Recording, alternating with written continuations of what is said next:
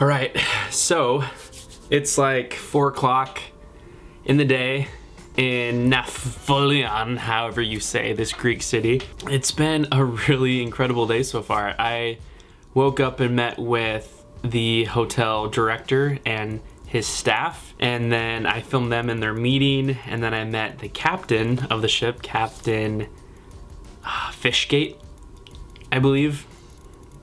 He's from Scotland, really incredible, genuine guy. And then I went on the bridge real fast to kind of scope out different places to be filming tomorrow.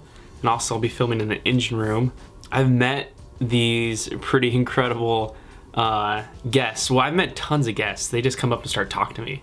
I talked to them too, obviously. And uh, I met these five uh, people from the UK who are incredibly friendly and they just want to learn more about me. They already asked for my contact information and just keep in touch and whatnot. It's it's kind of like the experience that I know our crew members give guests. I feel like I'm receiving it as a kind of crew member. Like I've done water sports right off the back of the ship here in the bay in the salt water right next to all these Greek islands. Uh, pretty surreal that I get to do this and have this view out over here.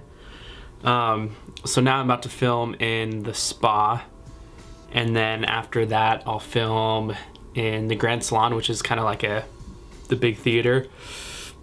Um, oh also I've got to figure out how to get my shirt ironed. I also enjoyed a wonderful meal alone on the deck as the sun went down last night. It was super romantic by myself, missing my wife. That was fun though.